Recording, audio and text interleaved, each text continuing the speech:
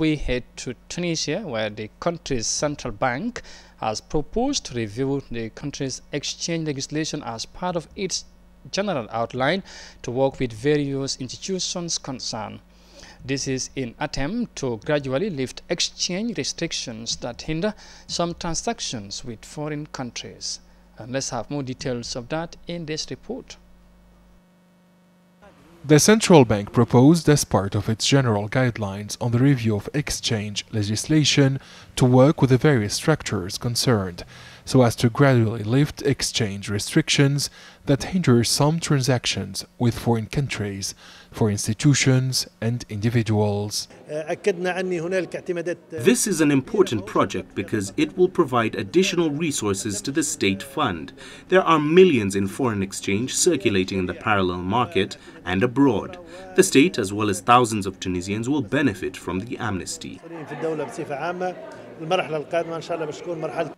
The central bank is also planning to bring about some changes aimed at completing the liberalization of current operations to introduce more flexibility and transparency in the exchange regulations.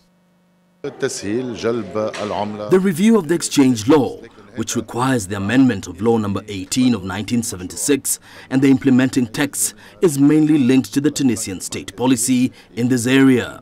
The central bank aims to implement more transparency.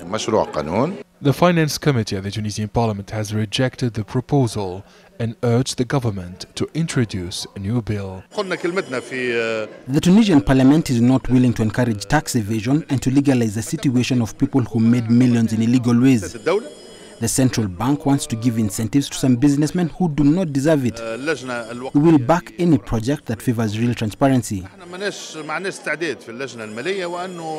According to the central bank governor, the amnesty covers investments by non-resident foreigners in Tunisia, such as the publication of Circular Number 14 of 2018 on the digitization of the investment form as a bank document allowing non-resident investors to benefit from the transfer guarantee.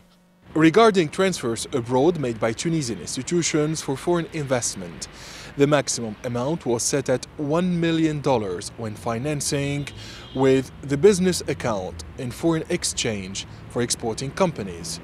Tunisia's foreign currency assets reached nearly $7 billion, which corresponds to 115 days of imports.